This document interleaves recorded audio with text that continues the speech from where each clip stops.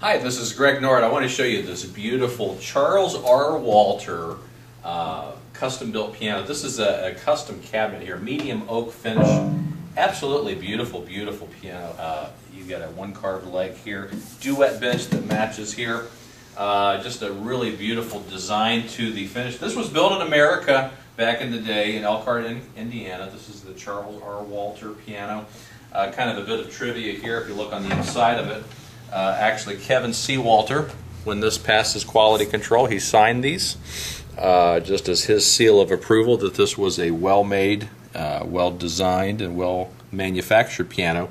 And it is an absolutely exquisite instrument. Uh, uh, a lot of times you don't get super big sounds in console pianos like you would on a grand or something like this, but this is an exception. This is a really big, lush sound. We're going to have a listen to it right now.